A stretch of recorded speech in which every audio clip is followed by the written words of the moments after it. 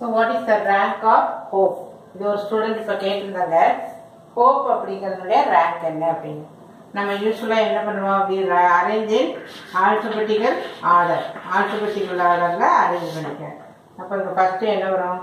E, E இல்லையா அதுக்கப்புறம் A B C D E F G H I G O then P இதுதான் வந்து alphabetical order இப்போ இது வந்து ஹோப்புங்கிறத இப்படி எழுதிக்கலாம். இதுதான் கீவேர்டு கீவேர்டு வந்து இது வந்து நமக்கு ஸ்டார்ட் ஆகுது. ஸோ ஃபஸ்ட்டு நம்ம என்ன எழுதுன ஆல்பபெட்டிக்கல் ஆர்டர் இங்கே வந்து வழக்கமாக எழுதுறது இருக்க number of words starting with இது ஒரு டைம் மட்டும் நான் எழுதிக்கிறேன்.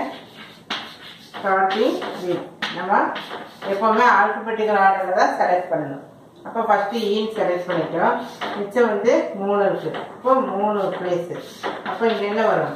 ஃபேக்டோரியல் த்ரீ இப்போ ஏன் ஃபேக்டோரியல் த்ரீ மூணுனா வெறும் மூணு தானே வரணும்? அப்படின்னு கூட ஒரு ஸ்டூடெண்ட் கேட்டிருந்தாங்க இங்கே ஏன் ஃபேக்டோரியல் த்ரீன்னு வருது? வெறும் த்ரீ தானே வருது அப்படின்னா இந்த ஹெச்ஓபின்னு இருக்கு இல்லையா? இடத்துல நினைக்கிறேன்.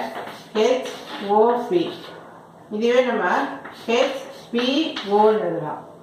இப்போ second letter எழுதுது O P H R O H P come to the third letter P O H R P H O அப்போ எத்தனை வேஸ்ட் இருக்கு? One two three four five six அப்போ சிக்ஸுங்கிறத நம்ம எப்படி எழுதுவோம்? த்ரீ ஃபேக்டோரியல் எழுதுவோம். So in this way you are writing three factorial அடுத்தது இப்போ ஈங்கிறத எடுத்துட்டோம். அடுத்த லெட்டர் நமக்கு ஆல்பபெட்டிக்கல் ஆல்பபடி என்ன வரணும் ஹெச் வரணும் இல்லையா? அப்போ அடுத்தது ஹெச் அப்படின்னு எடுத்துக்கணும். நம்ம டிக்ஷனரி பார்க்குற ஃபர்ஸ்ட் ஈலேருந்து ஸ்டார்ட் பண்ணிட்டு இப்படியே பார்த்து முடிச்சுட்டு அடுத்தது நம்ம என்ன பார்ப்போம்? ஹெச்னு சொல்லி பார்ப்போம். இப்போ கீவேர்டு ஒவ்வொரு தடவையும் செக் பண்ணிக்கணும்.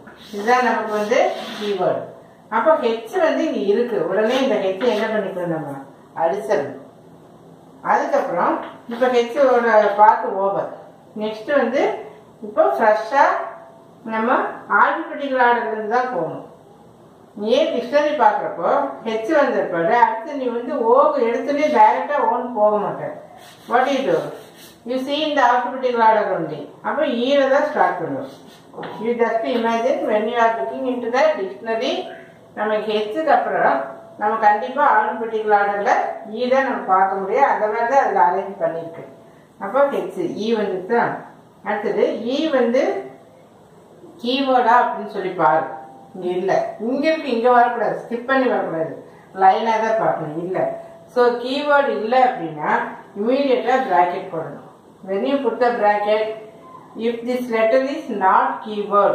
கீவேர்டாக இருந்தால் ப்ராக்கெட் தேவையில்லை. கீவேர்டுங்கிறது இங்கே இருக்கிறது. அப்போ ப்ராக்கெட் போட்டு இப்போ எத்தனை போடுறோம்? ரெண்டு டேஷ் வந்து நமக்கு வரும். அப்போ இங்கே ஃபேக்டோரியல் டூ ரெண்டு ஏன் ஃபேக்டோரியல் டூ போடணும் இதில் நம்ம சொல்லியிருக்கிறோம். மீதி என்ன இருக்கு? மீதி என்ன இருக்கு? ஓபி இருக்கா?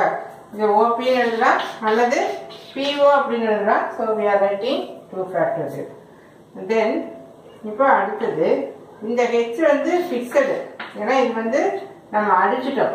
அப்போ இது ஃபிக்ஸடாக அப்படியே எழுதிக்கணும் அடுத்தது இப்போ ஆல்பபெட்டிக் ஆர்டரில் பார்க்கணும். இல்லையா?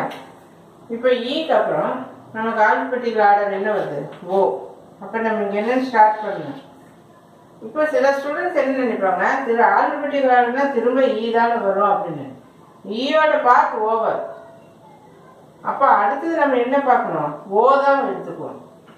ஸோ இந்த இடத்துல வந்து ரொம்ப சொன்னால் நமக்கு கன்ஃபியூஸ் ஆயிடும் இப்போ நம்ம ஃபஸ்ட்டு இ e எடுத்தோம் இந்த மூணு டேஷ் வந்துருச்சு. ஹெச் எடுத்தோம் கீவேர்டு அப்படிங்கிறதுனால இதை கேன்சல் பண்ணிவிட்டு நமக்கு திரும்ப ஃப்ரெஷ்ஷாக வந்து ஆல்பபெட்டிக்கல் ஆர்டரில் தான் இருக்கணும் ஸோ ஆல்பபெட்டிக்கல் ஆர்டர் எடுத்து ஈ எடுத்துகிட்டு இந்த மாதிரி எழுதிட்டோம். இப்போ இந்த இது ஓவர் இப்போ அடுத்த இதுக்கு வரப்போ நம்ம அடுத்த சான்ஸுக்கு போயிடணும். எப்போ நம்ம இந்த மாதிரி வரோம் அப்படின்னா இந்த கீவேர்டு வரப்போ அதை கேன்சல் பண்ணிட்டு திரும்ப ஆல்பபெட்டிக்கல் ஆர்டரில் ஸ்டார்ட் பண்ணுறோம் இப்போ வந்து இந்த இ பார்ட் ஓவர் அடுத்தது ஸ்டார்ட் பண்ணுறப்ப நம்ம எதுக்கு வரணும்? இந்த ஆல்பபெட்டிக்கல் ஆர்டரில் ஸ்டார்ட் பண்ணணும். ஓன் எழுதிட்டோம் ஸோ இதுக்கு சான்ஸ் கொடுத்துட்டு அதுக்கப்புறம் திரும்ப நம்ம வந்து ஆல்பபெட்டிக்கல் ஆர்டரில் வரணும். ஓகேவா இப்போ ஓ வந்து கண்டிப்பாக நம்ம எழுதணும். நமக்கு ஆல்பபெட்டிக்கல் ஆர்டரில் இது எழுதிட்டோம். எழுதின பிற்பாடு திரும்ப பி போகக்கூடாது. இங்கே ஈ e எழுதிட்டு இந்த ஈ தான் வரணும். பிஃபோர் தட் நான் பேசிட்டே நான் இந்த கீபோர்டாக இருக்கா இல்லையா நான் பார்க்க மறந்துட்டேன். அப்போ இந்த இடத்துல ஓ இருக்கா? அப்போ இது உடனே இது என்ன பண்ணிடணும்? அடிச்சிடணும். அடிச்சது பிற்பாடு நம்ம கண்டிப்பாக எதுலேருந்து ஸ்டார்ட் பண்ணணும்? ஆல்பபெட்டிக்கல் ஆர்டரில் ஸ்டார்ட் பண்ணணும். அப்போ இங்கே ஈ e வந்துச்சு. இங்கே ஈ e இருக்கா? இல்லை. இல்லையா அப்போ ஒரு ப்ராக்கெட் நமக்கு இந்த இடத்துல எத்தனை ப்ராக்கெட் வரும்? ஒன்று சாரி ஒரு டேஷ் மட்டும் வரும். அப்போ இந்த இடத்துல என்ன இருக்கு? ஒன் ஃபேக்டோரியல் அடுத்தது இது ஹெச் ஃபிக்ஸடு ஓவும் நம்ம ஸ்ட்ரைக் அவுட் பண்ணிட்டோம். இப்போ இந்த இடத்துல சான்ஸ் எங்கே போகணும்? இங்கே தான் வரணும். முதல்ல ஓ இங்கே எழுதிட்டோம். அடுத்து நம்ம எதுக்கு வரணும்? இங்கே பிக்கு வரணும். அப்போ இந்த இடத்துல பின்னு எழுதணும். பி எழுதிட்டு இங்கே வந்து கீவேர்டாக பார்க்கணும். அப்போ இப்போ கீவேர்டு இப்போ பி இங்கே இருக்கா? இங்கேயும் இருக்குது அப்போ இந்த இடத்துல அது கேன்சலர் ஸோ ஆட்டோமேட்டிக்காக மீதி என்ன இருக்குது இந்த இடத்துல? இ அப்படின்னு. ஸோ ஃபுல்லாகவே வந்துடுச்சு இந்த இடத்துல நோ ப்ராக்கெட் இங்கே மூணு டேஷ் இருந்தால் த்ரீ ஃபேக்டரியல் ரெண்டு டேஷ் இருந்தால் டூ ஃபேக்டரியல் ஒரு டேஷ் இருந்தால் ஒன் ஃபேக்டரியல் நோ டேஷ் அப்புறம் என்ன போட்டுக்கணும்? ஜீரோ ஃபேக்டோரியல் அப்படின்னு சொல்லி போட்டுக்கணும் zero factorial is nothing but one அப்போ ரேங்க் அப்படிங்கிறப்ப நமக்கு என்ன பண்ணிக்கலாம்? இது எல்லாத்தையும் ஆட் பண்ணிக்கலாம். இது six then two plus one plus one equal to இங்கே நைனு இது ten so tenth rank rank வந்து டென்த் ரேங்க்னு சொல்லி எடுத்துக்கலாம் இப்போ ஒரு ஸ்டூடெண்ட் கேட்டிருந்தாங்க ஏன் ஜீரோ ஃபேக்டோரியல் ஒன்று? ஜீரோ ஃபேக்டோரியல ஏன் ஒன்று அப்படின்னு சொல்கிறோம் அது ஜீரோவா இல்லையா அப்படின்னு சொல்லி கேட்குறாங்க அப்போ அதுக்கு ஒரு explanation we N n factorial equal to N into n minus one N minus two இப்படியே போயிட்டே இருக்கும். இப்போ நம்ம எங்கே நிறுத்துறோமோ அங்கே ஸ்டாப் பண்ணிக்கணும். எனக்கு இதோட போதும். அப்போ நான் என்ன பண்ணிக்கலாம்? இந்த மாதிரி ஸ்டாப் பண்ணிக்கலாம். இந்த ஃபார்முலா உங்களுக்கு கண்டிப்பாக தெரியும் N factorial equal to n into N minus one factorial இப்போ போட்டு என் ஈக்குவல் டு ஒன் ஒன்னு நம்ம சப்ஸ்டியூட் பண்ணோம் அப்போ ஒன் ஃபேக்டோரியல் ஈக்குவல் டு என்னக்கு என்னென்னு போடுறோம். ஒன்று தென் என்னுக்கு ஒன் மைனஸ் ஒன் இந்த இடத்துல ஃபேக்டோரியல் கண்டிப்பாக இந்த இடத்துல ஃபேக்டோரியல் போடணும். இப்போ one bracket zero factorial one into something same so zero factorial இந்த இடத்துல ஒன்று இருக்குது that is zero factorial equal to one so in this way we can prove this இதுலேயும் கூட பார்த்தீங்கன்னா நம்ம two anything power zero இல்லாட்டி two power zero equal to ஒன்னு சொல்கிறோம் பட் நம்ம சில சமயம் என்ன நினைப்போம்? டூ பவர் ஜீரோனா ஜீரோ அப்படின்னு நினைப்போம். ஸோ நாட் தட் வே இது வந்து ஒன்று இதை கூட நம்ம ஒரு மெத்தடில் யூஸ் பண்ணலாம். இப்போ இந்த இடத்துல பார்த்தீங்கன்னா இங்கே சிக்ஸ்டி ஃபோர் இங்கே thirty two then which one? Sixteen இங்கே எயிட்டு இங்கே four then two then one இப்போ சிக்ஸ்டி ஃபோர் அப்படின்னா என்னது?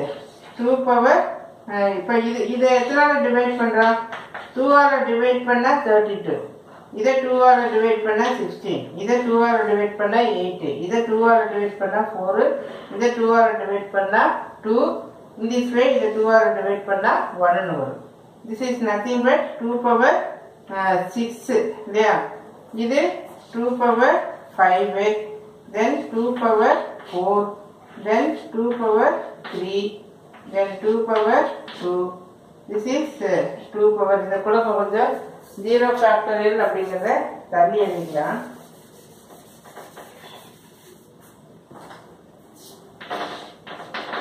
ஈக்குவல் டு ஒன் ஸோ இங்கே டூ ஸ்கொயர் ஃபோர் எழுதிருக்குமா இங்கே டூ பவர் ஒன்னு எழுதுறோம்.